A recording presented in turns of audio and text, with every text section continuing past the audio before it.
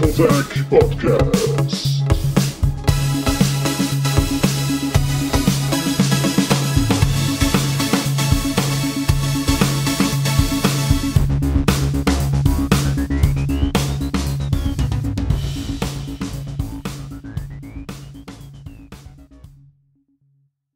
Hallo und willkommen zum zweiten Teil unserer Clan-Invasion.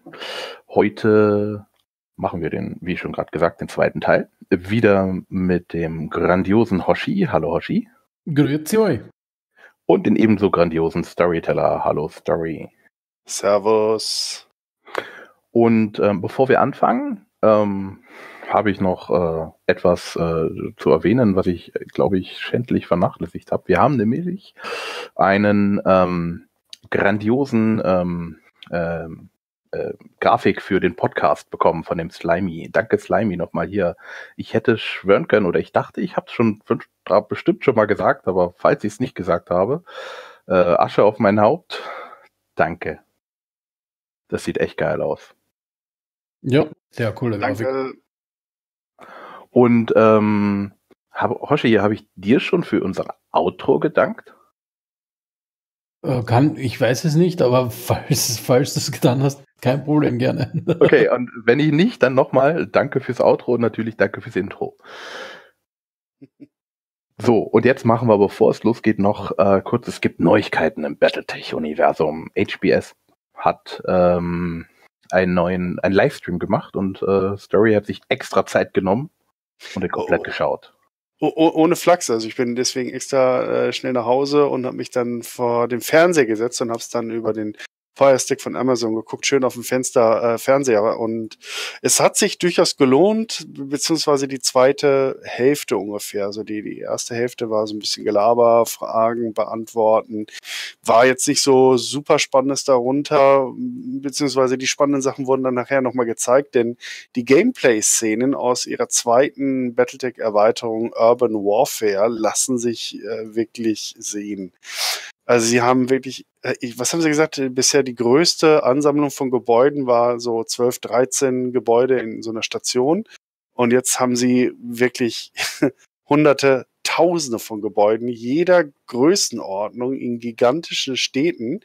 Und da es ja auch Fehlschüsse gibt im Battletech, war das ja bisher so, dass die irgendwo im Nirvana gelandet sind, aber das macht natürlich in, in, der Stadt wenig Sinn, äh, denn die Schüsse sollten schon in den Gebäuden landen als äh, Querschläger und diese Gebäude dann auch entweder beschädigen oder gar zerstören. Und wenn man diesen Schritt macht, was muss man dann als nächsten Schritt tun, Hoshi? Was denkst du? Die Gebäude zu hören. Ja, natürlich, ja klar, aber wenn es schon Fehlschüsse auf Gebäude gibt, was soll es dann noch geben für Fehlschüsse? Auf andere Max? Ja! Voll gut. Da haben sie mit einem Katapult mit LRMs auf drei Mechs geschossen, die schön in der Reihe standen und alle haben ihr Pfund weg mit oder ihr Fett wegbekommen. Das war schon sehr geil, weil es war bisher auch nicht der Fall. Wenn der Schuss daneben ging, ging er einfach komplett daneben. Und jetzt hast du halt unter Umständen auch Friendly Fire. Das heißt, wenn du einen eigenen Mac in den Weg stellst und dann lässt du die große LRM-Barrage äh, los, dann kann das ganz schön dumm enden für den Kollegen. Vor allem, wenn er dir den Rücken zudreht. Oder sehr geil, auf einem großen Gebäude stehen und du knallst das Gebäude weg, ist ja recht einfach zu treffen, nur dann äh, ist auch nicht so gut. Und es gibt andere Objekte auch in der Stadt, so Generatoren oder sowas in der Richtung. Und wenn die explodieren, also der Wirkungsradius war nicht schlecht. Also alles, was in der Umgebung stand, war weg. Also Städte sind ein gefährliches, äh, aber sehenswertes und spannendes Pflaster, vor allem weil sie die Kämpfe durch das zerstörbare Gelände nochmal deutlich verändern. Ich bin super gespannt auf die Erweiterung, obwohl ich da bisher gar nicht so heiß drauf war, weil wer Stadtkämpfer aus Classic Battletech, dem Tabletop kennt, die können sehr langwierig sein und vor allem die ganzen zerstörten Gebäuden, weil man ja auch alles händisch macht mit den Konstruktionsfaktor und dann da irgendwie Rubble hinlegen und weiß der Geil was. Aber hier macht's ja freundlicherweise der Computer und das ist deutlich angenehmer. Und dann haben sie noch so ein paar Kleinigkeiten, so Komfortsachen gemacht, auch bei der strategischen Karte. Die haben mir auch gut gefallen. Das heißt, du hast jetzt äh, Filterfunktion zum Beispiel nach Schwierigkeitsgraden, dass dir die Planeten angezeigt werden, die nur drei Skulls haben oder was auch immer. Und äh, du kannst halt auch sortieren, zum Beispiel nach Biomes, also nach, nach äh, Umwelten. Das heißt, möchte alle Wüstenplaneten oder alle, alle Tundren oder sowas angezeigt bekommen. Also es macht es auf jeden Fall ein bisschen einfacher. Und es waren sicherlich so ein paar Sachen dabei, die ich vergessen habe, aber ich denke mal, so, das waren so die Highlights, kann sich auch jeder mal angucken. Wer, äh, oder es gibt da den Link äh, auf YouTube, äh, Urban Warfare First Look äh, und dann so ein äh, Schrägstrich sozusagen und ein Battletech DLC. Äh, geht ganze 32 Minuten 26 Sekunden. Auf jeden Fall lohnenswert angucken. Ja, cool. hört sich ja schon mal gut an. Weiß man inzwischen, was der, der dritte DLC sein wird? Ja, haben sie gesagt. Und zwar, das sind äh, Heavy Metal, glaube ich, äh, hieß er oder so ähnlich. Und zwar geht's da um jede Menge Mechs, die noch nicht im Battletech sind und auch den ein oder anderen anziehen. Wobei natürlich viele Leute erwarten, dass es jetzt Marauder und Warhammer heißt, aber vielleicht überraschen sie uns ja noch mit dem ein oder anderen Chassis sowie dem Hatchet Man. Den gibt's in MWO auch nicht. Ich, mein heißer Tipp wäre vielleicht, wenn sie mich glücklich machen wollen, Crusader. Hm. Das ja, Ding wäre geil. Crusader wäre lustig. Da würden sie mich auf jeden Fall sehr glücklich mitmachen. Also nicht, weil ich Crusader-Fan bin, aber der fehlt irgendwie noch. Na, dann sind wir mal gespannt, was sonst doch so auf uns zukommt. Wir werden dann wahrscheinlich für die, für die Erweiterung einen eigenen Podcast machen. Ja, ja, dann da ist. Ja, Anfang Juni kommt er jetzt. War so 4., 6. Juni oder sowas in der Richtung? Ah. Oh, ich guck gerade mal schnell, bevor ich hier Umfug äh, behaupte, bla bla bla, Season Pass, bla bla bla, Announcement. Oh, natürlich steht sie nicht auf den ersten Blick. Doch, 4. Juni, 4. Juni 2019, also drei Wochen ungefähr. Eins, zwei, zwei, nee, drei Wochen genau. Ja, perfekt. Ja, danke, dass du dir nur für den Podcast diesen äh, Stream angeschaut hast. Ja, ausschließlich. Um das davon zu berichten. Angeguckt, ey. Nein, war geil. Ich, ich hatte richtig, ich habe es auf, Twitch, äh, auf, auf Twitter gesehen. Heute Abend hier um, um 19 äh, Uhr Podcast, äh, äh, äh, ähm, ähm, ne, Dings, äh, Livestream. Livestream, sorry, danke. Und dann habe ich gedacht, okay, dann muss ich bis 19 Uhr unbedingt zu Hause sein. Gut, dann, ähm, was ich noch sagen wollte, ähm, wir hatten ja Chapter-Treffen. Treffen. Treffen. Treffen. Genau, Chapter-Treffen in Fulda an der Jugendherberge. Und ähm, ich wollte noch Danke an den Onai sagen, der dies hier ja auch hört, äh, für das tolle Buch. Und ähm, ja, danke Onai. Ja. Gut. Dann, ähm, ach so, ja, äh, vielleicht sollte ich sagen was. Also es ist ein äh, vom äh, HBS Battletech ein Fan ähm, Tech Manual. Ja. Also praktisch stehen da die ähm, haben die Fans sozusagen selber hergestellt, das und da sind dann halt die, die Spezifikationen der Macs drin mit Bildern und es sieht richtig geil aus. So, dann kommen wir zum ähm, zur Clan-Invasion. Die Clan-Invasion. Ja, die Clan-Invasion, die dritte Welle ist Ja, vierte Welle, vierte Welle. Vierte Welle. Wieso ja. jetzt? Ja, das lasst mich ja ausreden. Die dritte Welle Nein. ist gerade vorbei. Ach so. es gibt zwei Wochen Zeit. Die Welt hält den Atem, ah, nein, die Welten halten den Atem am. Geht es in zwei Wochen weiter? Hm, können wir etwas dagegen unternehmen? Genau. Ich würde sagen, Hoshi. Ja, also passiert? es ist im Prinzip ähm, hätte Anfang Juli damit oder oder eigentlich Ende Juli, also Anfang Juli hatte die dritte Welle geendet, also zwei Wochen Zeit, also Mitte Ende Juli die vierte Welle starten sollen, ähm, was die Wölfe auch gemacht haben. Also die Wölfe haben freudig drauf los weiter erobert ähm, und haben ihren eigentlich ihren Erfolg weiter fortgesetzt und ähm, haben eigentlich versucht, noch mehr Welten zu erobern als in, als in der dritten Welle. Ähm, und haben am, haben am Anfang extrem großen Erfolg sogar gehabt, ja. So, dass sogar der Ilkan mit ein paar politischen Manövern versucht hat, die ein bisschen einzubremsen, hat aber nichts geholfen, weil natürlich der Wolfskan gesagt hat, wieso sollen wir irgendwas machen, äh, wenn äh, ja, du oder wenn wir erfolgreich sind, sollen, soll man uns nicht bremsen. Ne?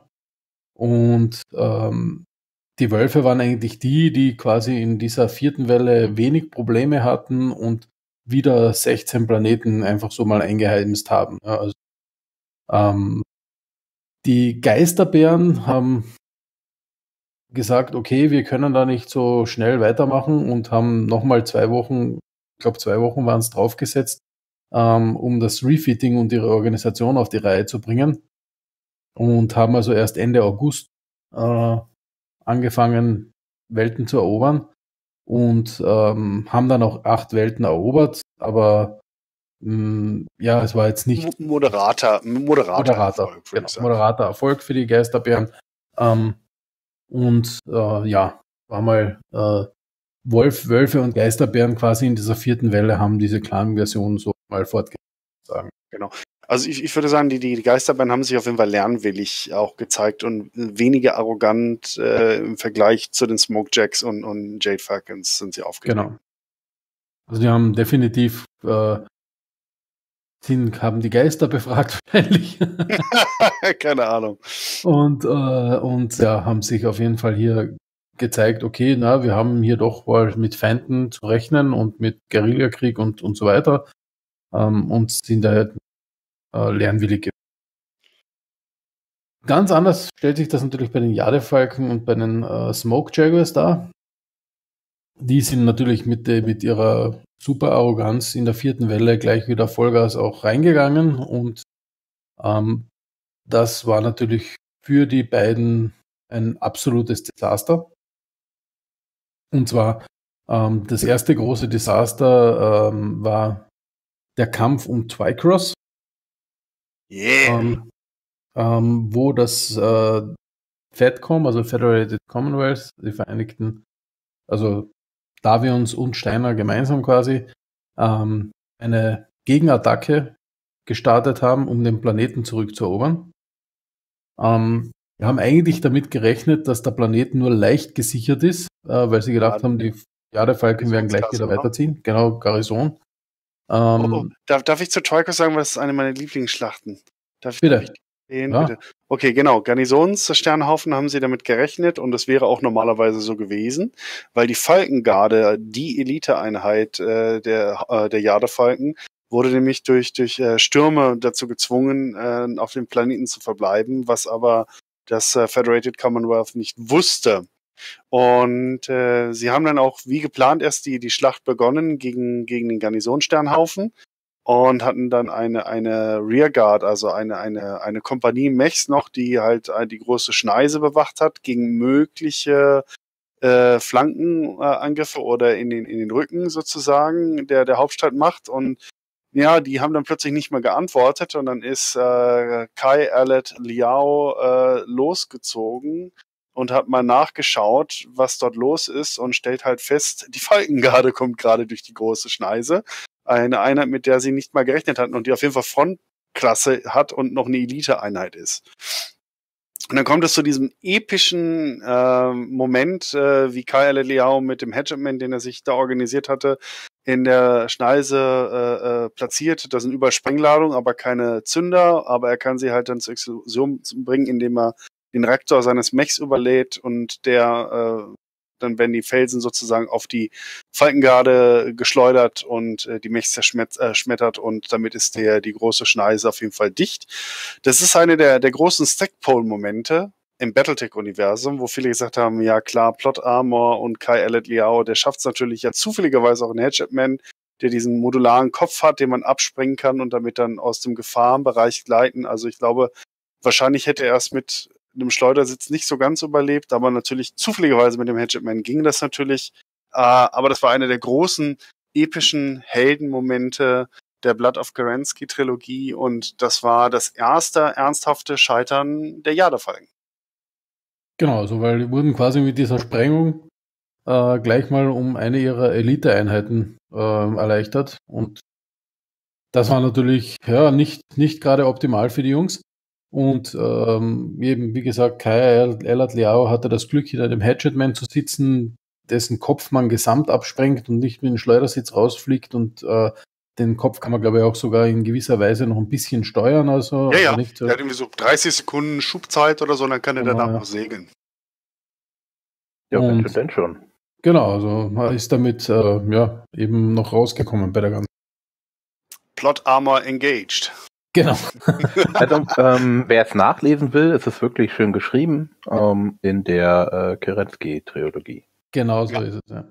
Ja, und, und Auf, äh, ja, den, den Battle of Wolcott machst du oder Willst du? Ja, oder kannst, kannst auch gerne loslegen. Also. Ich, ich kann, ich, ich reiß es mal groß an, du kannst es dann noch ein bisschen ausmalen. Auf der anderen Seite, parallel dazu, ohne dass äh, äh, eigentlich das so abgesprochen war, hat das Draconis-Kombinat wiederum auch einen eigenen Gegen, also nicht einen Gegenangriff sozusagen geplant, sondern eigentlich äh, eine Verteidigung von einer speziellen Welt, die sie extra dafür ausgesucht hatten, und zwar Wolcott.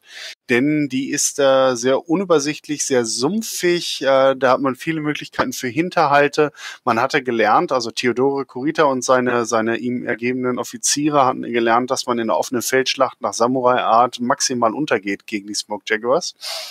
Und deswegen hatten sich diese Welt ausgesucht und haben dann dort die Smoke Jaguars in einen Hinterhalt gelockt, äh, sie auch zu einem Duell sozusagen oder einem limitierten Kampf nach, äh, nach Clan Bachal äh, aufgefordert und den haben die Claner verloren.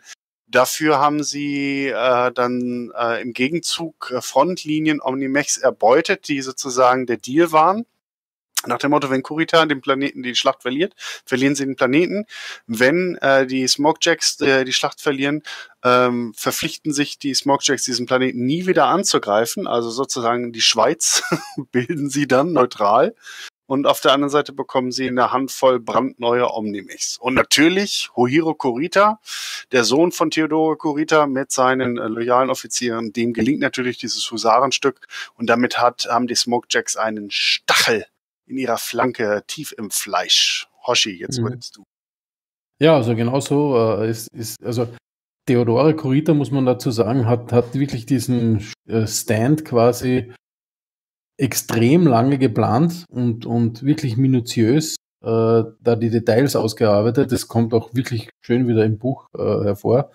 Ähm, wie er eben diese Operation Sakaku plant und äh, genauso wirklich ähm, äh, alles auch äh, studiert, wie kam, wie, welche Vorteile haben die Klana, die Omnimax, die Battle Armor, also die Elementare und so. Also was können, was können wir dagegen machen? Und deswegen wurde also genau der Planet, Planet und auch der Kampfplan so ausgesucht, immer wieder mit, mit Angriffen, Rückzug, in den Sumpf hineinziehen und so weiter. Also der Kampf war trotzdem sehr verlustreich, nicht falsch verstehen. Ja. Also die, die ähm, ähm, Draconis-Truppen äh, haben ziemlich massiv auch einstöcken müssen, aber sie haben natürlich auch ähm, Elite-Einheiten wie die Geniosha auf ihrer Seite gehabt. Ja. Und damit ähm, konnten sie dann eben diese, diesen Sieg erringen. Wie der Story schon gesagt hat, haben dann auch äh, Battle Armor und Omnimax bekommen. Ja. Ähm, und das war natürlich ein, ein ja, sehr, sehr großer Moment bei, dem, bei der ganzen Geschichte. Ähm, ja, strategischer, definitiv ein strategischer Sieg mit weitreichenden Folgen, weil damit äh, hatten die, äh, hatte die, die DCMS, also die Draconis Combined Master Soldiery, einen erstklassigen Ausgangspunkt für Raids. Äh, sie waren im Weltraum allerdings, äh, die, die Planet ist nur die Atmosphäre, das heißt drumherum war Kampfzone. Das heißt, wenn man nach Wolcott wollte, musste man dann an Piratenpunkt irgendwo springen und dann schnellstmöglich landen, weil sonst die Clanjäger einen vom Himmel fetzen. Und das ist schon auch spannend angelegt von, von, von Stackpole in dem Moment, weil Wolcott also kein sicherer Hafen vielleicht der sichere Hafen ist, aber erst ab der Kaimauer. Genau. Davor ist es ein bisschen ungemütlich. Und auf jeden Fall, nachdem die Clans das verloren haben, war natürlich der, der Khan der äh, Smoke Jacks, der ja auch Ilkan war, äh, Leo Showers, ähm, komplett aufgelöst und, und enraged, sie angepisst. Was sagt. Ja, ist sehr angepisst. und hat äh, gesagt, okay, wir müssen ein äh, sogenanntes Grand Kulturei abhalten, also eine Zusammenkunft, um das zu besprechen, das Ganze. Und zwar ähm, eben am Ende der, der Welle, am 1. November, soll das an Bord der Direwolf, also dem, das er äh, von ihm auserkorene Flaggschiff des Wolfsclans, äh, stattfinden und ähm, in dem eroberten System Radstadt gerade erst erobert. Ja, gerade erst erobert. Das ist ein ganz wichtiger Punkt. Klar, ich mache mal das Meeting der wichtigsten für direkt an der Front gerade. Warum genau, nicht? Also Kann man machen. So, so richtig äh, präpotent, ja. Wir haben gerade Radstadt erobert, da kommen wir alle zusammen, weil da, da bin ich gerade so nach dem Motto. ja, so ist es. und, ähm, und da kommen sie dann auch alle an, ja, also da, da kommen sie rein. Und was sie allerdings, womit sie nicht gerechnet haben, ist, dass die Raselhager ähm, genau zu dem Tag auch einen Gegenangriff geplant haben. Ähm, ähm, ja, ja, ja, die sind eher ähm, an, in der Durchreise. Also der, genau. der, der, der Wahlprinz, Prinz Magnusson, flüchtet gerade mit seiner Flotte, der weiß wahrscheinlich, das Radstadt schon erobert wurde. Und das ist mehr eine Weise ein, ein Zufallstreffen. Verzweiflungsattacke quasi. Ne? Genau. Und natürlich versuchen die, die rasalhagischen Piloten das Leben äh, ihres Prinzen mit allen Mitteln äh, zu verteidigen. Und deswegen äh, gehen sie dann also auf so eine Art Suizidangriff auf die Höhlenwolf oder auch Direwolf, das Flaggschiff der Wölfe, wo halt auch Leo Schauers und auch äh, einige andere äh, Großkopferte der Klane halt an Bord sind. Genau. Und es begibt sich dann also äh, natürlich, dass ähm, einer oder eine äh, der Flying Dragons, also der des äh, Elite Fighter Piloten quasi von, von Raselhag, ähm, einen Suicide Run auf die Brücke der Direwolf macht und gelingt auch und äh, quasi die halbe Brücke des, des Schlachtschiffs dort äh, wegsprengt. Ähm, man kann sich das vorstellen, Weltraum, Decompression und die ganzen Dinge, die also da, da so stattfinden. So, Leia hat das doch auch geschafft, die ist gleich wieder reingeflogen. Genau. das ist doch kein Problem. Echt, haben die doch auch alle. Frag Zack Paul, der hat auch ah. Star Wars Romane geschrieben. und ähm, Leo Schauers und Ulrich Kerensky, also der Kahn von den äh, Smokejacks und, und von den Wölfen, waren auf der Brücke ähm, jedoch gelingt es Phelan Kell mit dem Präzentor Martialum Anastasius Vocht gemeinsam, ähm, den Wolfskahn von der Brücke irgendwie runterzubringen. Ähm, der Ilkan ist aber komplett hoffnungslos eingeklemmt, also den muss er dann irgendwann quasi aufgeben, obwohl er es auch versucht, also muss sagen. Ähm, aber der muss er dann quasi die, die Segel streichen und ja, das war quasi das Ende des Ilkans, der Clan.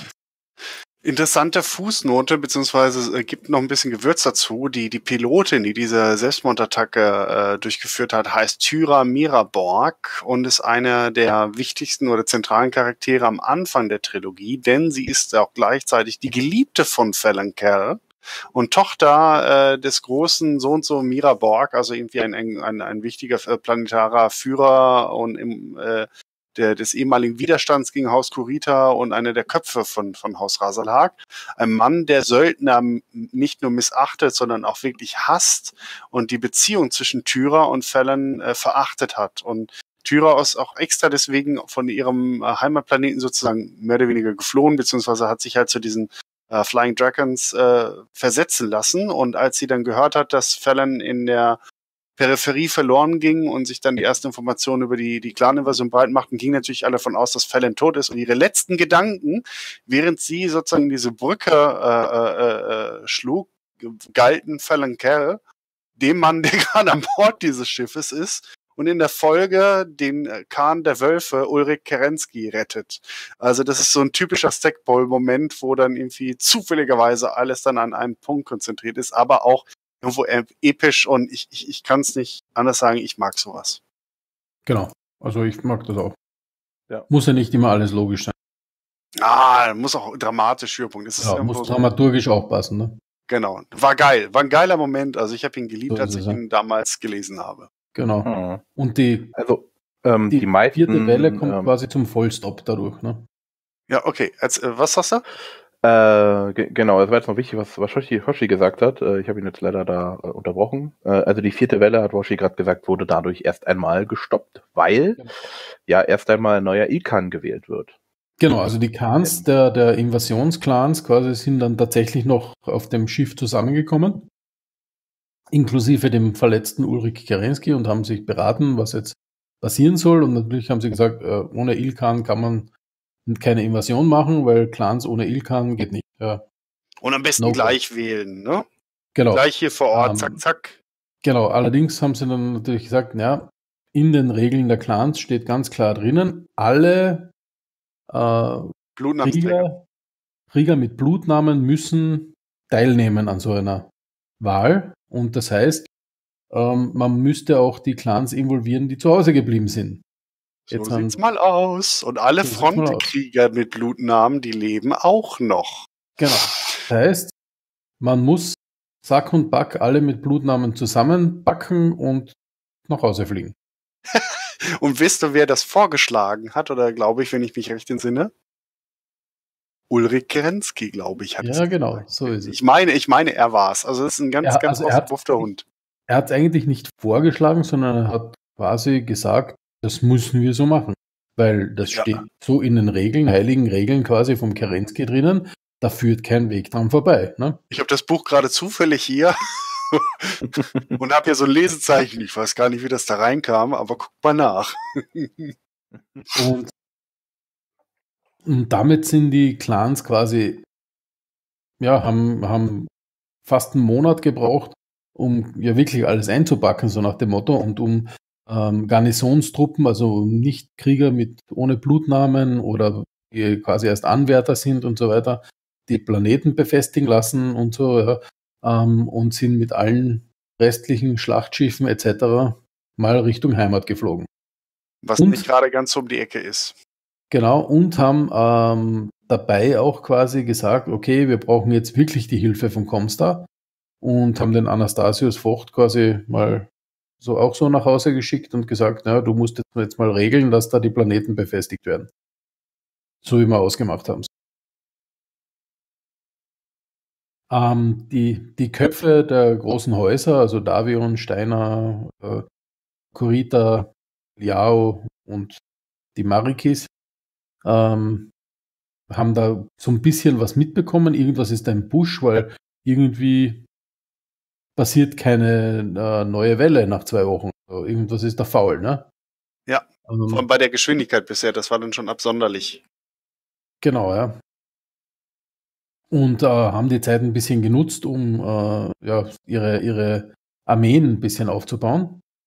Ja, das das das Jahr des Friedens sozusagen, das äh, das dann halt äh, am begann. Äh, Genau. Also es begann äh, definitiv am, äh, Januar 3051. Das heißt, die Clan-Invasion war ja hauptsächlich 3050 und dann war sozusagen Winter bis, bis Herbst und äh, da gab es dann, also November bis Januar ist halt diese Zeit gewesen, wo man sich überlegt hat, was machen wir denn jetzt? Ne? Und dann wurde gesagt, okay, wir fliegen zu den Heimatwelten zurück. Und ähm, ab Januar ist dann halt wirklich dann nicht mehr viel passiert an der Front. Äh, das heißt, äh, man stand sich dann nur noch gegenüber. Und das war halt der Moment, wo die Wolfsdragoner dann halt auch die, die Chance äh, ergriffen haben, um die anderen Häuser, wie Hoshi gerade sagte, halt vorzubereiten. Äh, und haben die dann ähm, denen etwas für die Häuser damals Überraschendes mitgeteilt, aber wir als fleißige Battletech-Leser, vor allem der Wölfe an, die, an der Grenze gelesen hat, war also nicht ganz so überrascht, dass äh, die Wolfsdragoner der inneren Sphäre offenbart haben. Ja, wir sind auch ehemalige Claner. Wir wurden geschickt, um euch auszuspionieren. Wir haben uns aber dann äh, langfristig dagegen entschieden, unseren Auftrag weiterzuerfüllen, beziehungsweise wir glauben, wir haben ihn erfüllt und haben keine Verbindung mehr zu den Clanern. Und wir bieten euch jetzt im Gegenzug das Wissen an, wie man die Clans schlagen kann. Dazu müsst ihr aber als innere Sphäre starten, alte Feindschaften überwinden und zusammenarbeiten. Und dann haben sie die Anführer und die Nachkommen der jeweiligen Häuser, die zumindest noch da waren, halt eingeladen nach Outreach, dem Sitz der Wolfsdragoner, und haben dann auch wirklich Trainings halt durchgeführt und versucht, eine Allianz zu schmieden. Hoshi? Mhm, genau, ja. Also die, vor allem der Jamie Wolf hat hier massiv quasi reingearbeitet, äh, um die alle an einen Tisch quasi zu bringen hat ihnen auch vor Augen geführt, beziehungsweise vieles wussten sie ja schon, dass, was, was da alles abgeht und ähm, hat dann quasi ein Trainingsprogramm für die Nach für die Erben der großen Häuser ausgeführt. Ja. Besonders also spannend doch, fand ich, äh, ja? alle da gewesen, oder? Also, weil du meintest sagen, die, die noch da waren, das waren doch alle. Da. Ja, von Rasalhak waren es ein paar weniger. ja, aber, aber grundsätzlich, die, es waren alle Häuser da. Es waren alle genau. Häuser vertreten. Alle Häuser vertreten. Ja. Äh, interessant war übrigens, das finde ich das ein, ein also äh, fand, fand ich super gemacht von Stackpole, wie sie Sun Tzu äh, Liao, also den, den, den jungen äh, Liao, äh, skizziert haben als so ähm, ja, gedankenlos, äh, impulsiv, ein bisschen verrückt äh, wie sein Großvater und so. Und dass alle gedacht haben, mit dem kann man nichts anfangen. Der wird zu nichts bringen, der wird genauso Bescheid werden wie seine Mutter und sein Großvater und so weiter. Und äh, das spoilern wir jetzt eigentlich schon ein bisschen die, die späteren Bücher, aber da kommen wir jetzt eh nicht mehr zu. Ähm, er, er spielt das Ganze nur. Er spielt das nur, um sich sozusagen dieses Bild zu erzeugen von sich, dass die anderen ihn unterschätzen. Und er wird eine der geilsten Figuren der späteren äh, Classic Battletech-Romane. So viel kann ich mhm. sagen. Stimmt, ja. Obwohl ich kein Liao-Fan bin, aber der Typ ist cool. Mhm. Was auch spannend ist, ähm, die Clans sind ja jetzt quasi auf der Rückreise in, in die Heimatwelten und das geht ja nicht mal so zacki, ne? Ähm, das heißt, die Gardefalken und die, und die Smokejacks und, und auch die Geisterbären haben natürlich Zeit gehabt, um zu plotten, quasi beim Heimfliegen. Sie denken über ihre Fehler nach, die sie den Wölfen am liebsten in die Schuhe schieben. Genau, und haben natürlich gesagt, ja, wen können wir das alles anhängen, dass unser Ilkan gestorben ist? Ja, dem Ulrich Grenzke, dem Clan äh, Khan der Wölfe. Ähm, der würde dann auch gleich zum Tode verurteilt und würde quasi den Platz frei machen, um ähm, ja, mehr kreuzritterlastigen Wolfskahn zu wählen, ne? ähm, weil die wären dann sicher am Drücker, wenn quasi der Bewahrerkahn da verurteilt wird, ne? weil das ist ja Schande und was weiß ich. Ne? Ja. Ähm, Ulrich Kerensky und, und das ist einer meiner Lieblingsmomente in dem Buch, ja. ähm, obwohl es eben kein, kein Kampf ist oder irgendwas, ähm, outmanövriert die allerdings massiv dann in dem, in dem großen Konzil. Ähm, ja. Und, und äh, durch super Manövrierung seiner Argumente wird er dann zum Ilkan gewählt. also das ist wirklich ein, ein, sehr, sehr schöner Moment für mich. Ähm, wird quasi Kla Khan der Clans, ähm, weil die, die Kreuzritter quasi kein Licht mehr sehen, ihn irgendwie auszuschalten, so nach dem Motto, machen wir ihn zum Ilkan, weil ähm, durch diese Position ist, ist er aber verpflichtet quasi äh, den Anordnungen seines äh, Vorgängers des großen Konzils sozusagen auch. Ne? Den, den, großen Konzil Gehör zu schenken und muss den, die Attacke der inneren Sphäre weiterführen. Ne? Richtig. Und das sagt er auch so, ja, passt, ist alles klar. Ne? Und üblicherweise äh, wird ja sein Oathmaster, also der, der, der zweite quasi, im, genau der Eidmeister, ähm, wird äh, im Prinzip dann der neue Khan normalerweise. Allerdings wieder durch sehr schönes Ausmanövrieren, weil der Eidmeister gesagt hat, äh, irgendwo einmal in einem Gespräch, ähm, er will ja eigentlich nie Khan werden. Ähm, sagt der Ulrich Kerensky so nach dem Motto, ja, äh, du hast mir gesagt, du willst nie Kahn werden. Üblich wäre es ja, dass du Kahn wirst, aber machen wir jetzt mal nichts draus. Ne? Ähm, Im Hinterkopf es, ja. genau, im Hinterkopf weiß er natürlich, äh, ja, der äh, kann ja gar nicht. Ne? Äh, ich bin mir nicht sicher, ob es der Einmeister, ich glaube, es ist der Saarkhan, den du meinst, oder? Also der stellvertretende Kahn, oder? Ja, ja, richtig, ja nicht, nicht ein Meister nicht, sonst kriegen wir irgendwas. Der Sakan, genau. Und, der Sakan war es. Genau. genau, und sagt dann. Sake! Ähm. Genau. Und äh, dankt quasi ihm, ihm für, die, für die Ehre, die er den, dem, Khan, dem Clan erbracht hat und so weiter. Und nominiert in seinem ersten Akt als Ilkan äh, die von den Wolfsdragonern zurückgekehrte Natascha Kerensky, äh, die auch eine Bewahrerin ist kommt ja auch von den Wolfsdragonern. Ähm, und hat auch mit diesem unauffälligen Nachnamen Kerensky, dem genau. kein, niemand äh, gewundert hat, warum sie Kerensky heißt, ne? Genau. Ähm, und die, die anderen Kane haben gesagt, na, das ist überhaupt kein Problem, wir können die Natascha Kerensky ja wählen, weil sie ist ja eigentlich gar keine Kriegerin mehr, dann wird sie quasi abgewählt und äh, ähm, ja, passt schon. Ne? Ähm, dann können wir schon irgendwen wählen. Allerdings ähm, haben, hat natürlich der Kahn gesagt, na, kein Problem. die Natascha Kerensky muss eine sogenannte Trial of Position machen, also muss beweisen, dass sie quasi als, als Clan-Kriegerin nach wie vor okay ist. Das macht man das im Normalfall in gewissen Intervallen sozusagen. Aber ihr genau. letzter war halt schon ewig her und dann wurde gesagt, naja, sie hat zahllose Kriege und Kämpfe bestritten in, der Sphäre und dann wurde gesagt, naja, gegen die, ne? Das zählt ja nicht und deswegen nochmal äh, Trial of Position und da ist sie mit fliegenden Fahnen durch und hat alles weggehauen und ich glaube, hat, ist, ich weiß ja nicht, ist sie Star Colonel oder Galaxy Commander oder was auch immer, wenn man sie ein, ein genau. extrem, ich glaube vier Kills hat sie, oder? Nee, also das, der, normalerweise treten die, ähm, also gegen einen Stern an, also gegen fünf Max. Ähm, und äh, das Trial of Position läuft so, wenn du einen Gegner tötest und das folgt ja normalerweise diesen ähm, ja immer nur einer gegen einen, so nach dem Motto, ne? Also wenn du einen umlegst, dann kriegst du quasi einen niedrigen Rang, zwei den nächsthöheren und so weiter. Ja?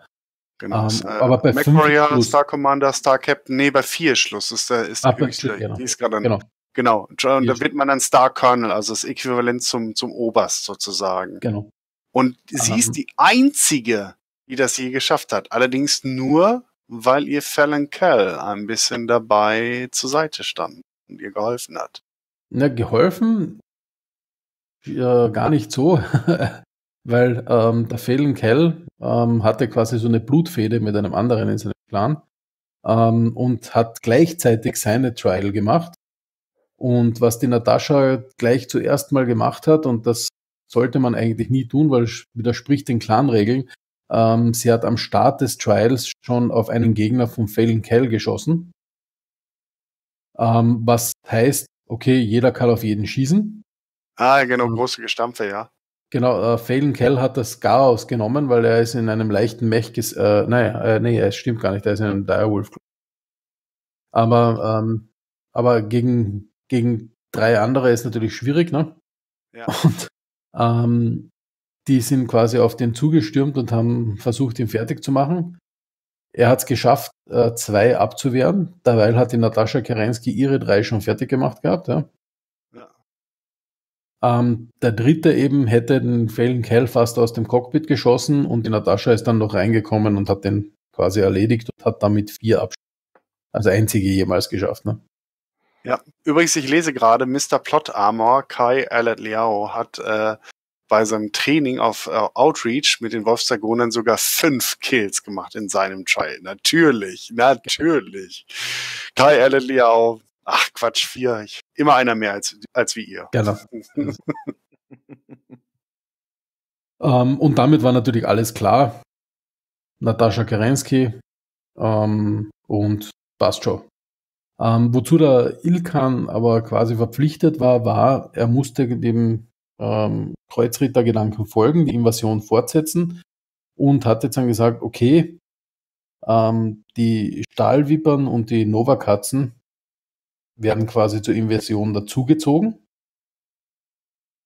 und müssen mit den äh, äh, die, die Steel Vipers mit den Jadefalken und Smoke Jacks und die Nova Katzen äh, mit den ähm, nee, die Steel Vipers mit den Jadefalken und die Nova Cats mit den Smoke Jaggers äh, entsprechend äh, ihre Korridore der Invasion verstärken und ihnen helfen, weil die zwei sind ja Loser, so nach dem Motto, und haben nicht so viel erobert wie wir. Der, der, ähm. der, Trick dabei war, dass die Clan-Kombinationen sich gegenseitig nicht leiden konnten. Das heißt, das waren alte Feinde aus den Heimatwelten der Clans.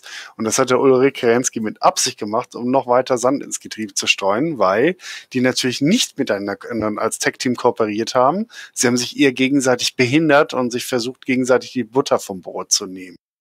Genau. Und dann hat er noch gesagt, okay, die Diamond Sharks äh, sind so quasi ein Reserve-Clan.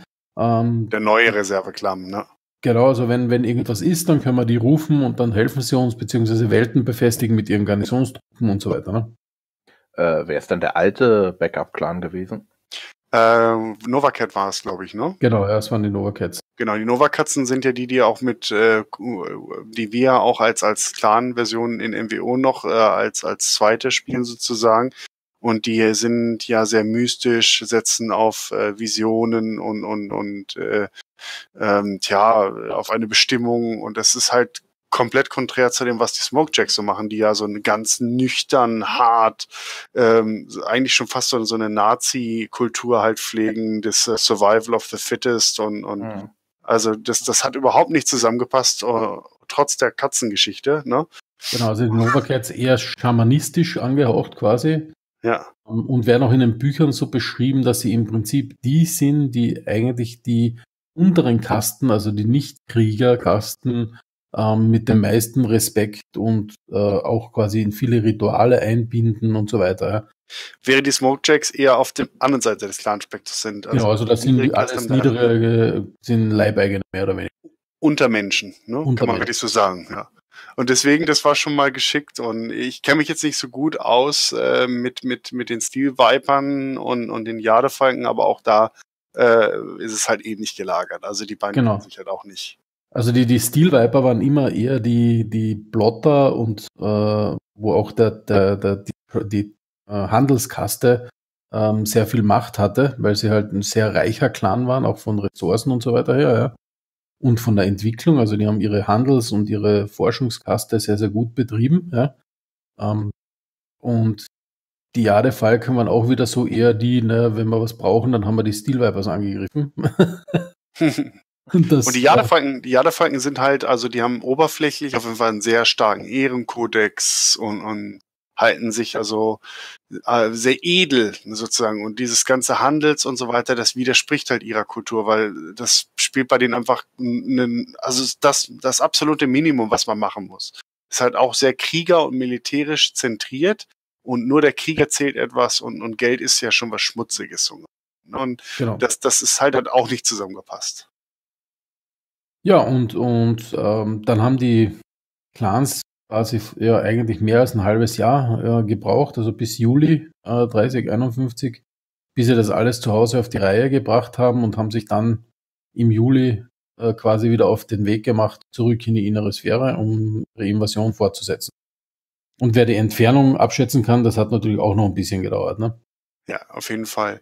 Und die Zeit hat die innere Sphäre halt genutzt, halt um, um, um aufzurüsten. Das heißt, man hat sich zusammengesetzt, gerade Haus Marek, äh, die Liga Freier Welten wurde sozusagen zum Arsenal der inneren Sphäre. Deswegen haben auch so viele Varianten auf 30, 50 und 55 das Kürzel M mit im Namen, weil die bei Marek so ausgestattet wurden mit XL Engine, Double Heatsinks, verbesserten Waffen und irgendwie Tetatät.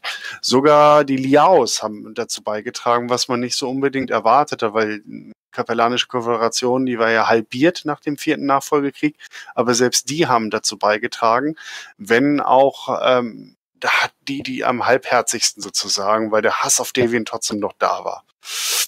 Ähm, man muss ja auch sagen, wie die, äh, die Free World Legion, also die Mareks, wurden ja nicht, ähm, also in dem, äh, andersrum. Es gab ja ein, ein Konzil, wo dann besprochen werde, wie man am besten weitermacht. Also in diesem Konzil bei den ähm, ähm, Dings da auf Ums. Auf Outreach, genau. Danke. Auf Outreach. Und ähm, die Mareks wollten ja eigentlich nicht so richtig.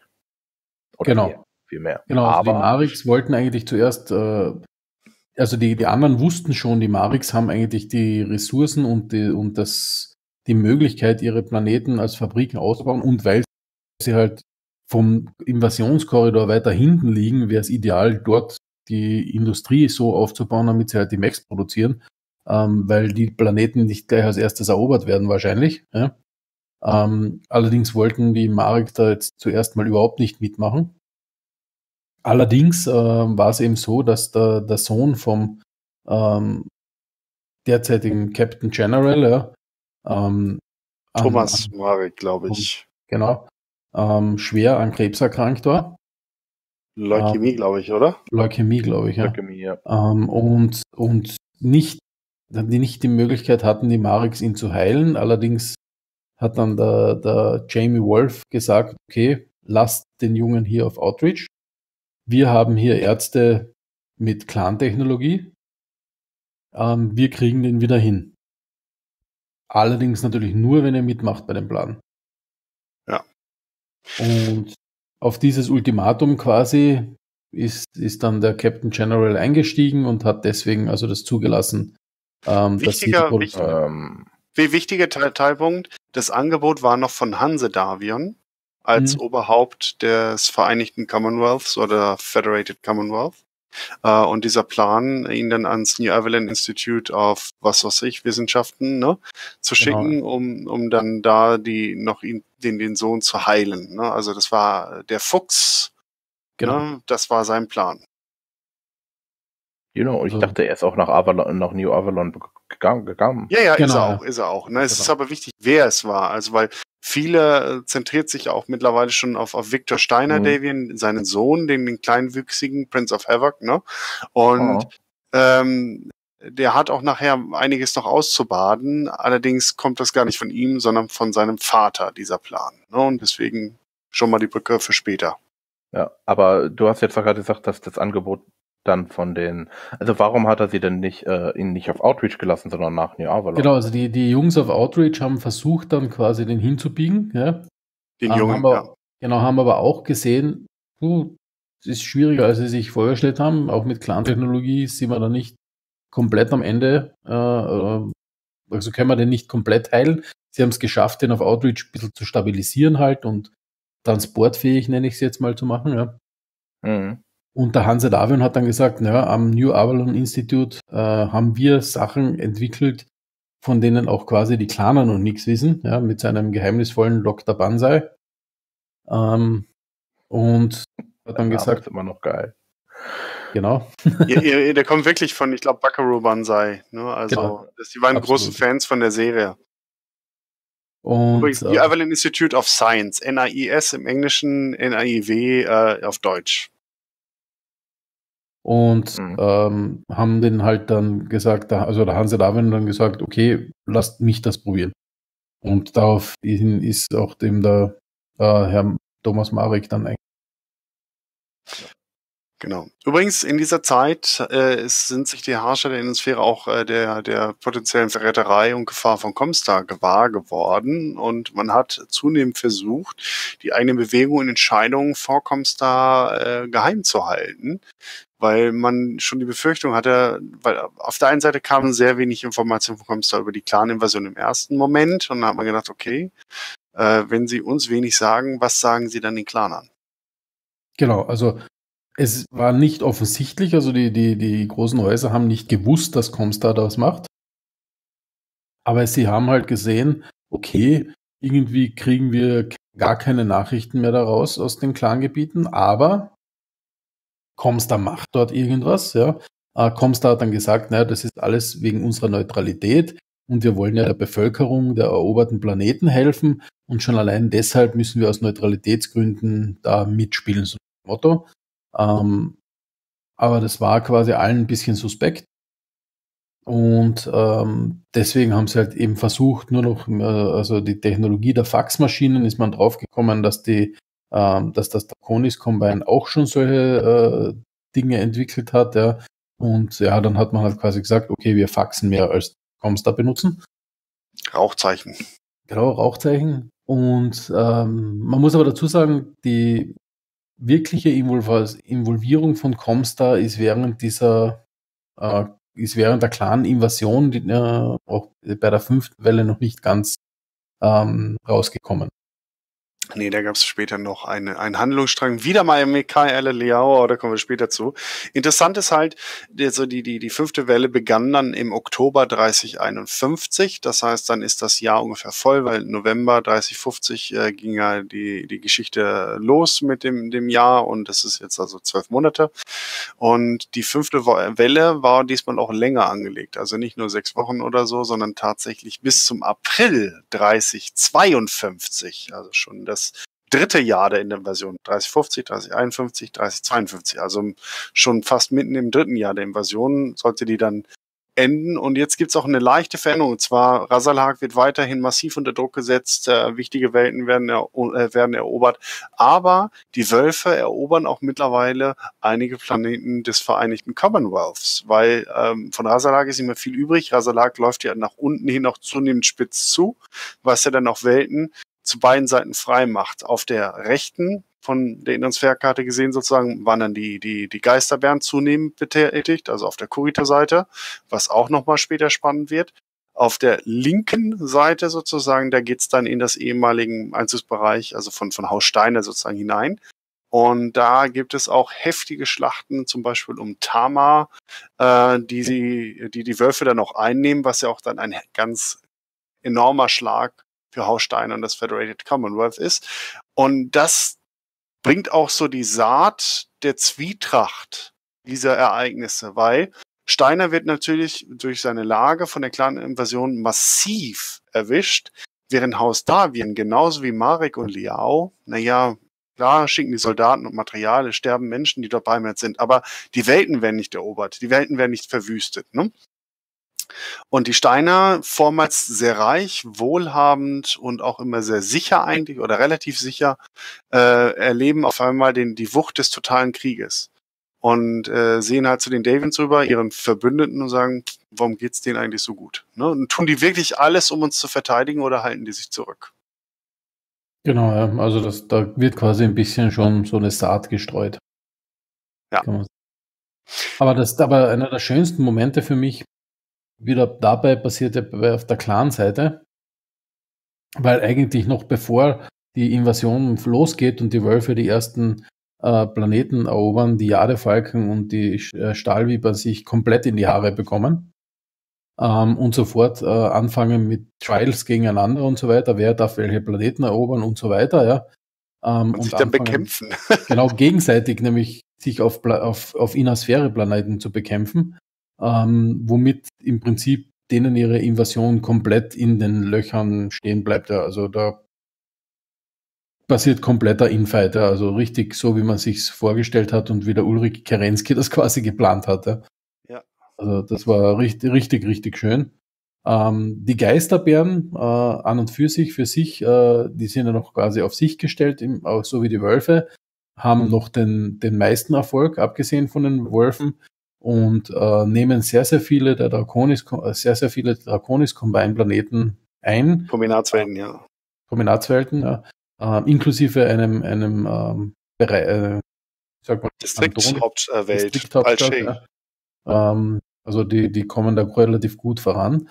Und womit der Ulrich Kerensky nicht ganz gerechnet hat, die Smoke Jaguars und die Nova Katzen, eigentlich ja Feinde auch, ja, ähm, handeln aber beim Hinfliegen zur äh, Offensive so eine Art gegenseitiges Verständnis äh, aus, ja, so nach dem Motto, wenn wir jetzt angreifen, machen wir nicht den Fehler wie die Jadefalken und die Stahlvipern, ähm, sondern lassen uns auf die Invasion äh, konzentrieren und wenn das vorbei ist quasi, dann geht euch an den Kragen, ja.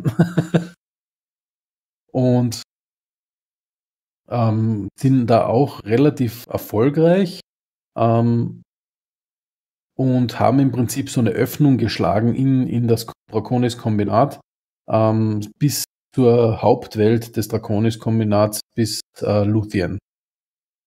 Und ich bin mir sicher, den Kampf um Luthien, äh, das ist einer der Momente wieder für den Story. Oh ja, oh ja, Luthien. Also Luthien ist natürlich so ein Turning Point. Ich sag mal, wenn, wenn die Kombinatshauptwelt gefallen wäre, das wäre schon äh, für, für weite Teile des Kombinats ein Todesstoß gewesen. Es gäbe sicherlich genug fanatische Samurai, die noch weiter gekämpft hätten bis zum letzten Blut. Aber die Koordination wäre definitiv dahingegangen und bei vielleicht dem einen oder anderen auch den Willen zum Überleben und, und äh, überhastete äh, Aktionen. Also man kann davon ausgehen, wäre Luthien gefallen, wäre auch das, das Draconis-Kombinat gefallen.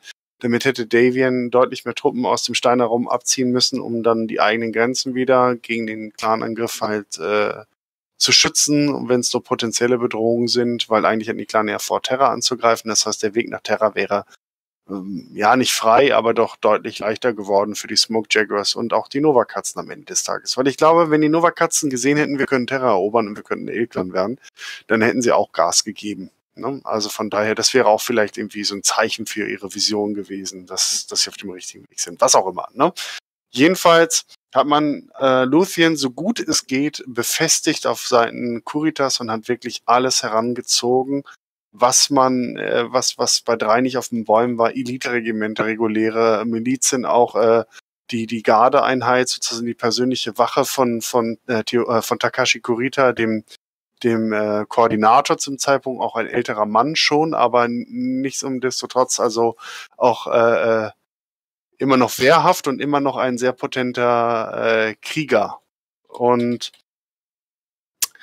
ja, ähm, aber trotzdem die Chancen standen schlecht, vor allem weil es ja zwei Clans waren, die simultan angegriffen haben. Ähm, und auch sehr, sehr wüst. Und vor allem haben sie zu dem Zeitpunkt schon auch viele ihrer Ehrenregeln, gerade durch die Erfahrung auf Wolcott, äh, über Bord geworfen. Das heißt also One-on-One -on -one und so weiter hat man sich nicht mehr darauf eingelassen, hat sich nicht mehr so sehr in die Falle äh, äh, locken lassen, sondern hat aggressiv alles niedergeschossen, was äh, da war. Kurita hat getrickst. Sie haben ähm, Pappmaché-Mechs aufgestellt, haben äh, dazwischen ein paar funktionierende Mechs reingestellt, damit es echter wirkt, haben die Gegner in Minenfelder und dergleichen gelockt, aber das hat nur gebremst, nicht aufgehalten. Und wären jetzt nicht zwei entscheidende Einheiten kurzfristig noch zur Hilfe gekommen, also kurz bevor die Clan ankommen, wäre das den Bach runtergegangen. Und zwar die Kellhounds und Wolfsdragoner sind in letzter Minute sozusagen dem Draconis-Kombinat zur Hilfe gekommen in Auftrag von äh, Hanse Davian. Denn er konnte ja keine regulären Einheiten schicken, weil das hätte ja wie eine Invasion ausgesehen des Draconis-Kombinats. Also hat er gesagt, okay, ich unterstelle die bei mir engagierten Söldner kurzfristig halt äh, dem Kombinat. Und das war natürlich besonders spannend, weil wegen Wölfe an der Grenze und Tod allen Söldnern, also Takashi war damit natürlich nicht einverstanden und sah sich auch entehrt und hat gedacht, jetzt wird versuchen, sein, sein, sein, sein Sohn Theodore will die Macht übernehmen mit Hilfe, äh, mit Hilfe von, von, von fremden Söldnern. Und er hat ihm versucht auch, also Theodore hat versucht, seinen Vater äh, wegzusperren. Shin Yodama, den wir auch letztes Mal erwähnt hatten, äh, sollte ihn sozusagen äh, zurückhalten und, und, und ihn aus den Kämpfen raushalten.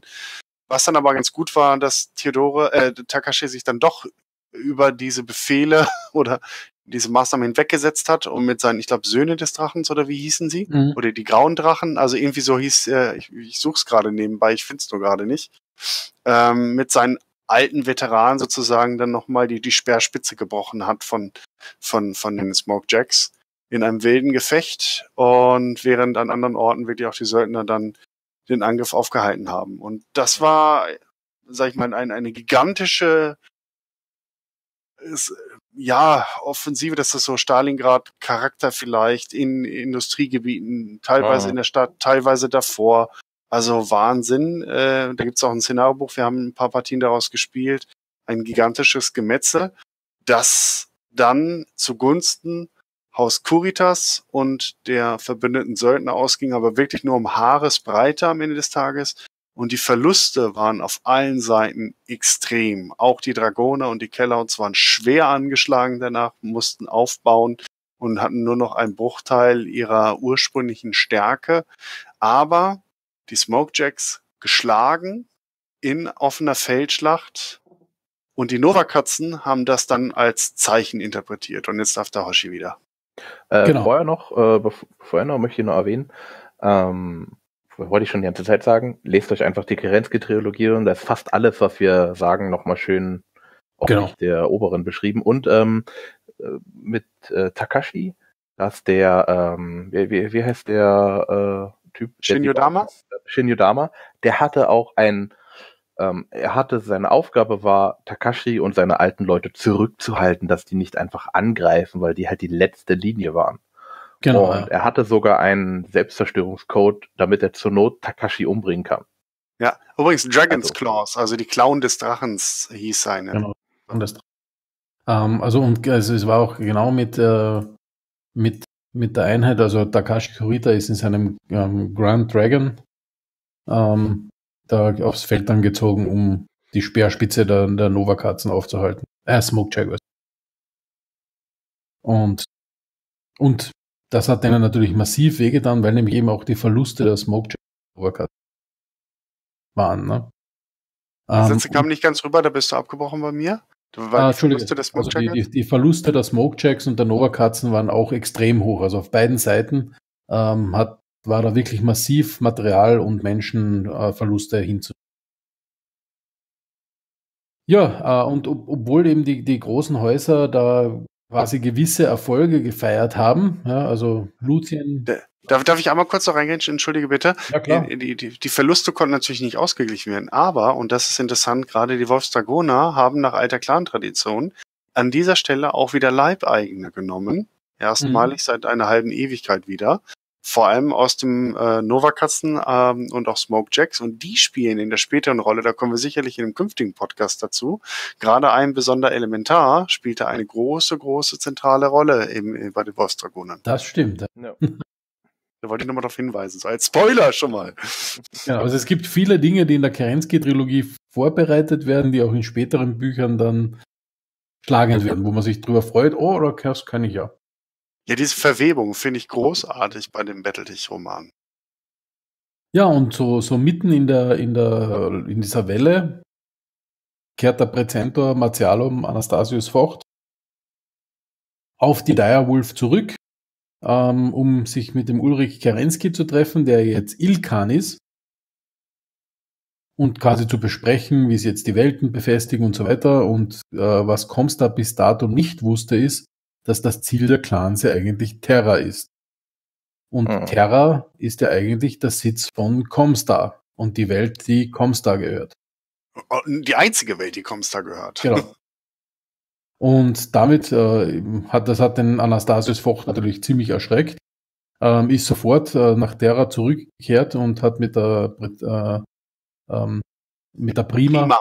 Genau, Minde Waterly ähm, konferiert und gesagt, okay, ähm, das ist natürlich absolut inakzeptabel, dass die Clans Terra einnehmen wollen, weil Terra ähm, ist die Welt, von der aus ähm, Blake und Comstars äh, Wort, also Blakes Wort und Comstar ähm, die innere Sphäre dann wieder aufbauen werden nach diesen ganzen Kriegen. Ähm, und ähm, die haben sich dann entschieden, dass Comstar mit seinen Comguards ähm, die Klaner zu einem sogenannten Trial of Possession herausfordern werden über Terra. Äh, wobei der Kampf allerdings nicht auf Terra stattfinden soll, ähm, sondern ähm, auf einer Stadt, die sie sich äh, ausmachen, dem Motto. Gleichzeitig hat Comstar den großen Häusern bekannt gegeben, sie werden nicht mehr neutral bleiben in dem Kampf, ähm, haben die großen Häuser angefangen mit äh, Informationen äh, zu versorgen ähm, und haben massiv Clan-Taktiken äh, in Comguards, also den Mech Warriors, dabei gebracht. Und Comstar hatte natürlich einen Vorteil, den, den sich die Clans auch nicht ganz bewusst waren, äh, nämlich Comstar hatte wirklich Mech in Sternenliga-Qualität. Also nicht ganz ebenbürtig mit den Clans, aber auf einem ganz anderen, viel höheren Level als jetzt alles, was in der inneren Sphäre verfügbar war. Vor allem viele Mech-Designs darunter oder Chassis, die die innere Sphäre gar nicht mehr kannte, so wie Exterminator oder sowas, die halt in den Nachfolgekriegen schon längst untergegangen waren und nicht mehr verfügbar gewesen sind. So ist es, ja. Und daraufhin haben sie, ähm, haben sie sich wieder getroffen, also so Mitte April war das dann, glaube ich, im Jahr danach. Ähm, und um mit dem äh, Ilkan Ulrich Kerensky auszumachen, was passiert denn da jetzt? Ähm, sie haben dann gesagt, okay, die, äh, der Planet, auf dem das Ganze ausgemacht äh, wird, ist äh, Dukait. Warum? Extrem kleine, leicht zu evakuierende Zivilbevölkerung und ähm, auch so nach dem Motto, könnte ein guter Planet sein, ähm, um ja da so eine, ähm, ja vom Gelände her, sage ich mal, vorteilhaft für die Comguards. Ja, ja und kurz, relativ kurz vor Terra gelegen, also nördlich sozusagen von Terra. Das heißt auch so zentral, dass es irgendwie von allen gut zu erreichen war und irgendwie sozusagen der letzte, das letzte Bollwerk gegen Terra auch schön symbolisch, ne? Genau. Und in, im Bereich der ein Rasalhager-Planet noch. Genau. Ähm, Ilkan Kerensky hat dann dem zugestimmt und hat dann gesagt, okay, aber wenn wir jetzt dann ähm, derer nicht erobern, was hindert und äh, der Trial of Possession quasi nicht funktioniert, was hindert uns denn daran, dass wir nächsten Monat angreifen, so nach dem Motto. Ähm, und aber so quasi auf ewig nicht angreifen, das geht nicht. Das ist mit den Clans einfach nicht vereinbar. Das kann man nicht, dem können wir nicht zustimmen, sondern Trial of Possession heißt nicht, dass man das nie wieder kriegen kann. So, ne? Ja, da, dafür ist es zu groß sozusagen. Das, das Gefecht genau. ist zwar schon gigantisch, aber nicht groß genug, um ewigen Frieden zu garantieren.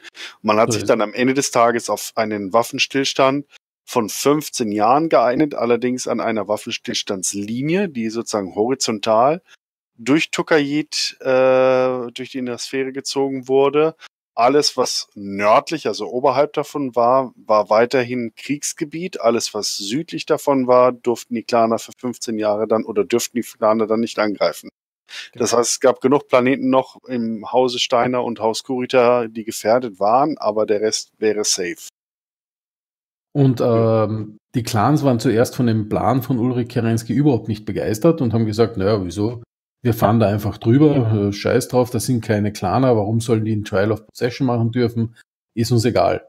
Aber der Ulrich Kerensky hat gesagt, ja, es ist ja wohl klar, dass wir den Kampf gewinnen werden, oder? Weil, ich meine, wir sind die Clans und die sind Comstar, was wollt ihr da, ne? Also ist ja logisch, wir gewinnen den Kampf. Und ähm, ich mache quasi den Braten fett für euch. Der Clan, der bei Dukaid den entscheidenden Schlag führt quasi und äh, am besten performt, hat sich das Recht herausgekoren, Il-Clan zu werden, also der Clan der Clans, ähm, und äh, die Invasion auf Terra zu beenden. Also, und da haben dann natürlich alle gesagt, uh, fetter Braten, äh, wir wollen auch und so, okay, machen wir mit. Und damit wurde zum Start des Trial of Possessions quasi der 1. Mai 3052 auserkoren. Genau. genau. Und das Gefecht dauerte dann äh, ja, rund drei Wochen. Und genau. daran waren die Smoke Jaguars, Steel Vipers, Diamond Sharks, Nova Katzen, Ghost Bears, Jade Falcons und natürlich Clan Wolf beteiligt. Und vorher wurde natürlich fleißig geboten, wer mit was angreift und wer zuerst angreifen darf. Und jetzt dreimal dürft ihr raten, wer unbedingt die Ersten sein wollten und besonders hart geboten haben, also Truppen weggeboten haben. Ich nehme noch Wetten an. Komm, Icke, sag mal was. Sag mir ein Tier.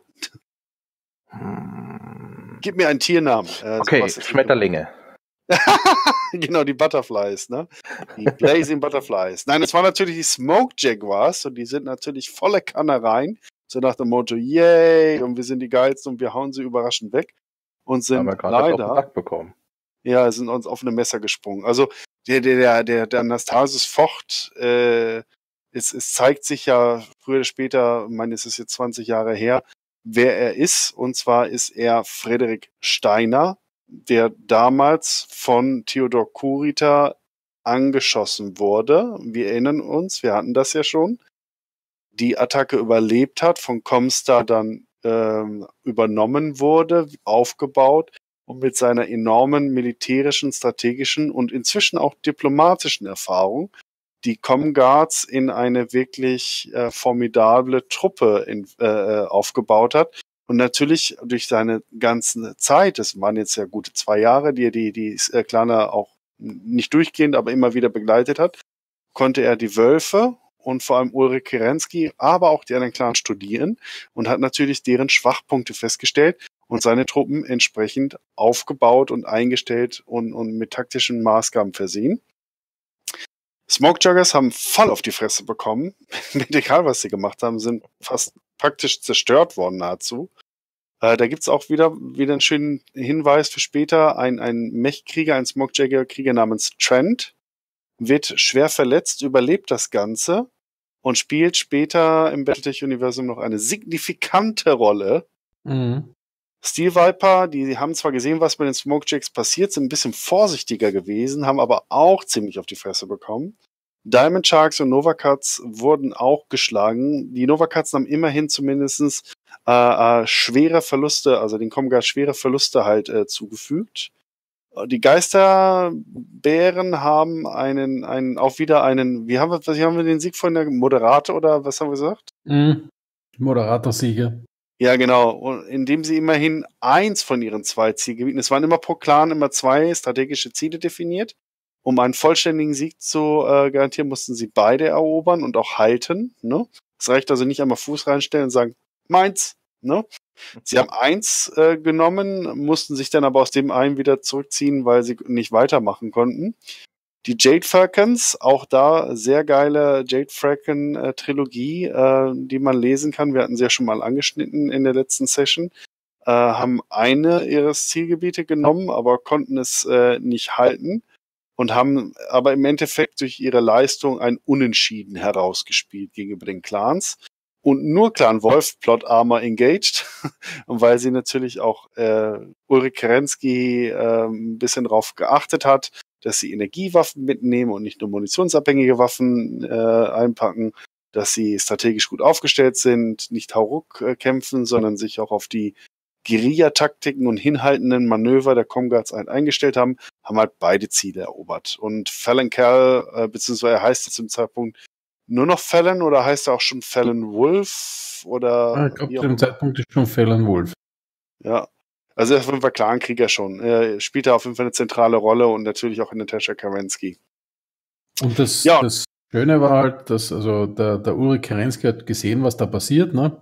Und hat auch gewusst, okay, grundsätzlich ähm, haben die Com Comguards wesentlich mehr ihrer strategischen Ziele erreicht als Clans, obwohl sein Clan quasi seine Ziele erreicht hat und äh, hat sich mit dem Anastasius Vocht wieder gemeinsam äh, verständigt und haben beide gesagt, okay, es ist ein Sieg für Comstar.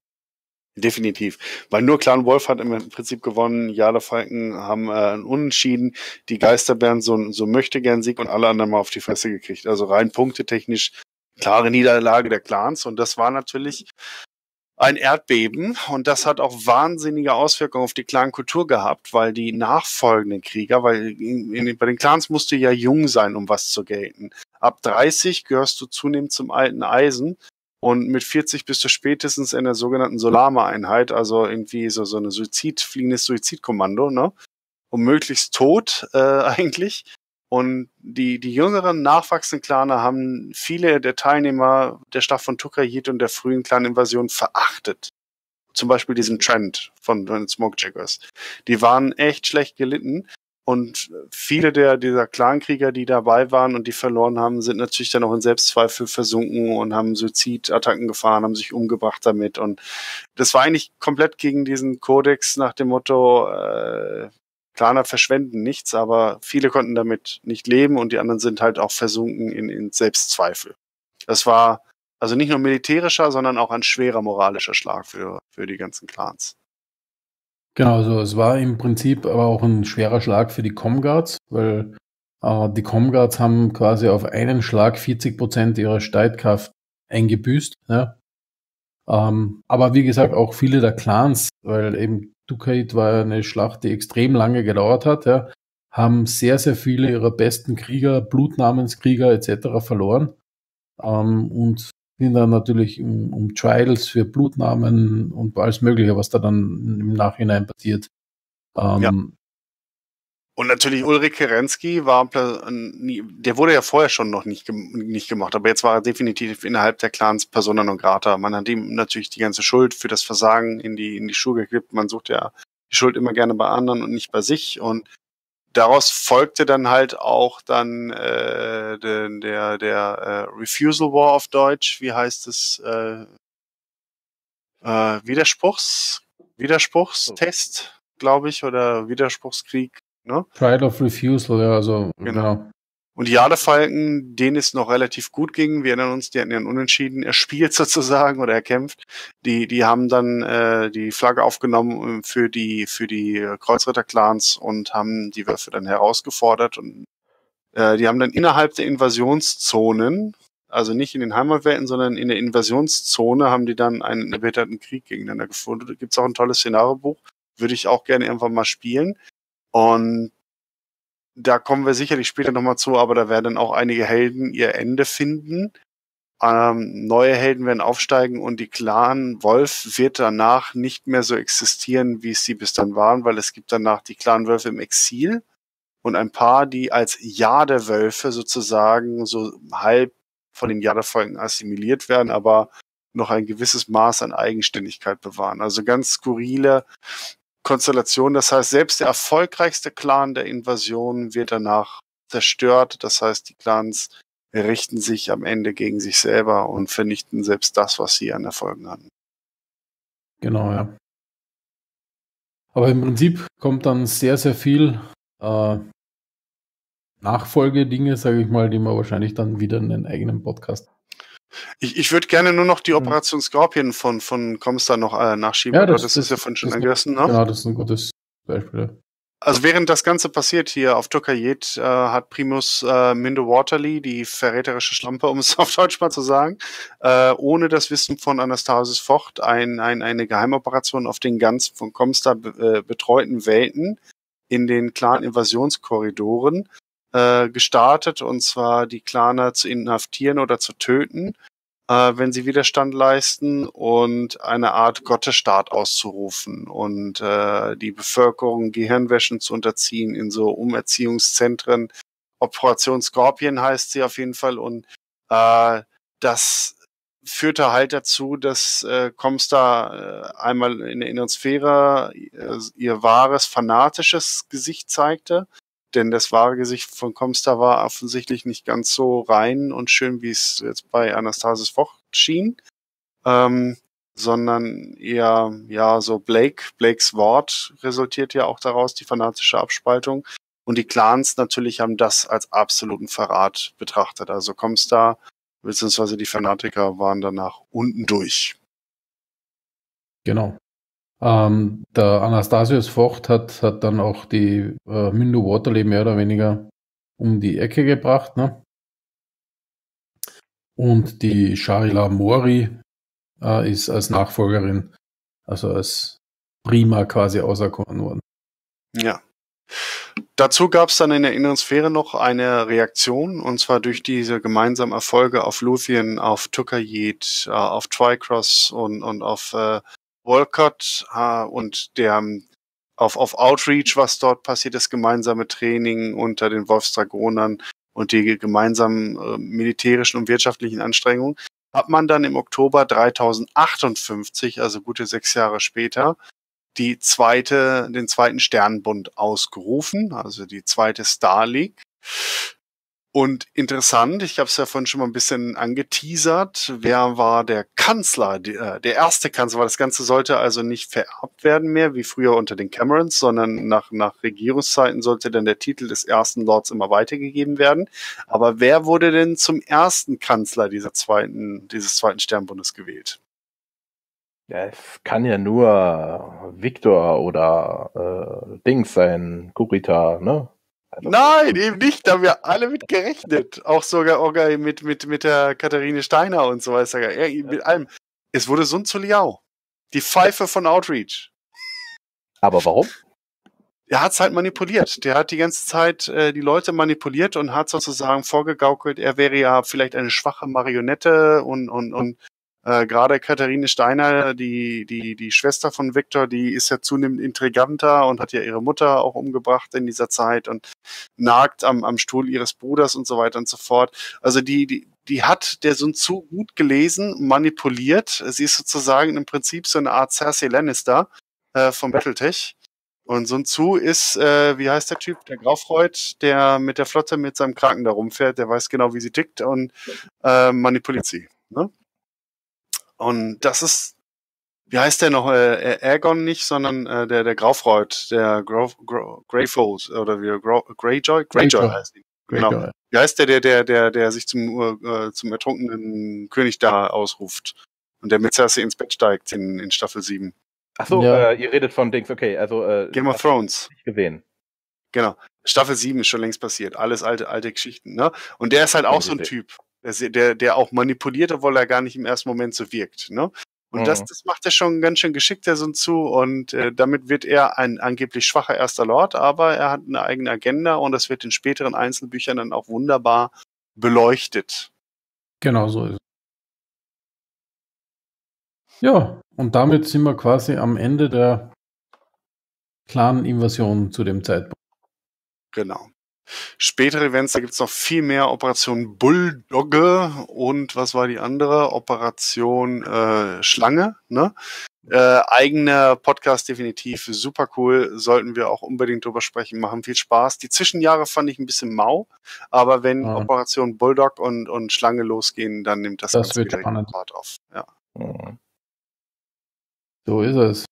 Okay, dann ähm, was ist denn noch ganz kurz noch in den bis diese Operation Bulldogger und so anfangen. Was ist, äh, was haben die Clans noch gemacht, außer sich selber anzugreifen? Haben sie auch noch weiterhin Steiner?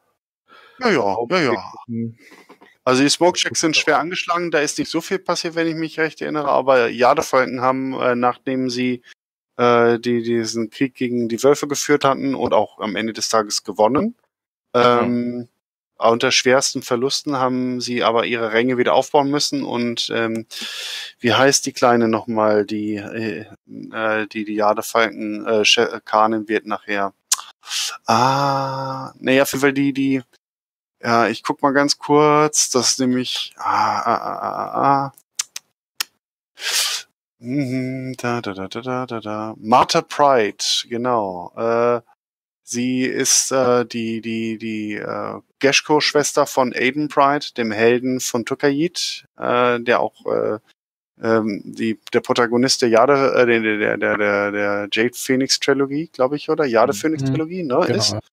Und Marte spielt da auch schon eine relativ große Rolle, weil sie ist halt äh, der Love Interest von, von Aiden. Aiden liebt sie abgöttisch und Marte ist am Anfang auch noch ein relativ positiver Charakter. Später wird sie so eine richtige Karrierefrau und wird halt dann auch Kanin. Und sie entwirft den großen Plan, äh, neue junge Krieger Kampferfahrung zu vermitteln, indem sie in dem Rotationsprinzip an der äh, an, äh, im Steiner Raum oberhalb der Demarkationslinie sozusagen äh, Offensiven führen. Das Ganze klappt am Anfang auch wunderbar, bis dann Steiner zusammen mit Davian äh, ernst macht und es dann, glaube ich, auf Coventry zu einer großen, verlustreichen Schlacht für beide Seiten kommt und äh, viele dieser frisch ausgebildeten Krieger in ihrem Unbesiegbarkeitswahn dann da zerschellen. Also es gibt dann wieder einzelne Romane, die sind auch ganz gut. Dann gibt's dann die Sache mit dieser, mit dieser Kosarin. Das fand ich ziemlich strange, das Buch, muss ich zugeben. Ja, das ist, ja, ja. Also es gibt so ein paar Zwischenbücher, die sind ganz okay. Also es gibt welche ein bisschen so mehr. Vor allem die Camachos Caballeros spielen gerade auch während der Clanzeit äh, im Kurita-Raum mit den diesen Cowboys, äh, mhm. Juden und ich glaube Indianern, ne? Mhm. Äh, also die muss man mögen, die Bücher. Ich habe sie als jung, junger Erwachsener, fand ich sie total doof. Jetzt habe ich sie als älterer Erwachsener mal gelesen. Sie haben schon ihren Charme. Mhm. Ich glaube, das, äh, die waren doch irgendwo im Kurita-Raum, oder? Die ja, ja. Was du meinst. Ja, genau, die habe ich äh, äh, gelesen. Kur kur kuratiert? Nee, äh, korrigiert. Redigiert. Nee, korrigiert in dem Fall. ähm, aber wie gesagt, da gibt es ein paar interessante, aber es ist jetzt äh, nichts dabei, was so äh, jetzt nochmal large scale ist. Es ist mehr so eine, so eine Zeit der Inzidenz. Äh, ja, genau, der Stellvertreterkrieg, äh, kleinen Scharmützel. Mhm. Okay, dann äh, haben wir noch irgendwas vergessen. Sicher. Noch erwähnen müssen. Sollten. Immer. Wir müssen den Leuten doch draußen die Chance zum Meckern geben, sei mal nicht genau. unfair. Unsere Zuhörer werden uns sicher darauf aufmerksam machen. okay, dann ähm, danke an euch beiden äh, für die Zeit, für die Expertise. Äh, Olli hat äh, diesen Teil vorbereitet. Äh, jetzt müssen wir nur noch äh, besprechen, was wir als nächstes Thema machen. Bulldog! Operation Bulldog. Ja. Dann freut euch das nächste Mal Operation Bulldog. Und dann gucken wir mal, äh, ob die Dogge zubeißen kann. Genau. Dann, äh, wie gesagt, danke an euch beide für die Zeit, für die Expertise. Danke an euch da draußen zum, äh, fürs Zuhören. Und äh, wir freuen uns auf Feedback und bis zum nächsten Mal. Ciao. Tschüssi. Well, everybody, this podcast has been terminated. But rest assured, the Battletech podcast will be back. Shutting down.